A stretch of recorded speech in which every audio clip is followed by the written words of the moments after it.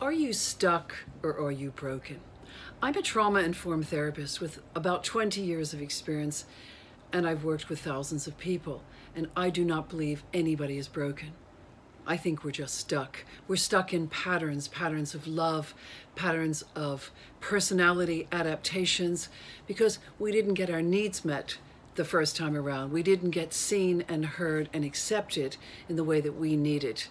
And I don't blame anybody for that because your caregivers were doing the best that they could with the knowledge and the information they had. So please stop thinking about yourself as broken or damaged like a vase of Oz.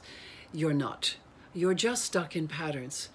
And when you go on your self healing journey, which I hope you are on, if not, do find somebody to work with to do that, you will grow exponentially and life will become so much better.